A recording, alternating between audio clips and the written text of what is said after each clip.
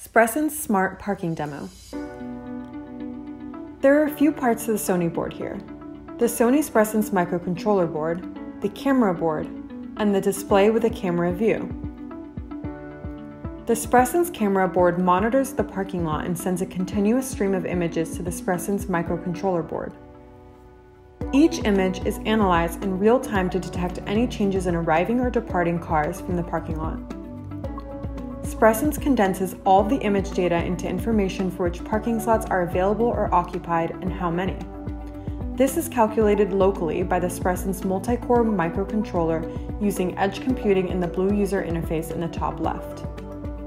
When sharing this data to the cloud, edge computing has the advantage of only having to send a few bytes of data instead of the entire video stream and in this demo, the parking data is shared online using the neqto: cloud service and represented in the web UI on the bottom left as a graph.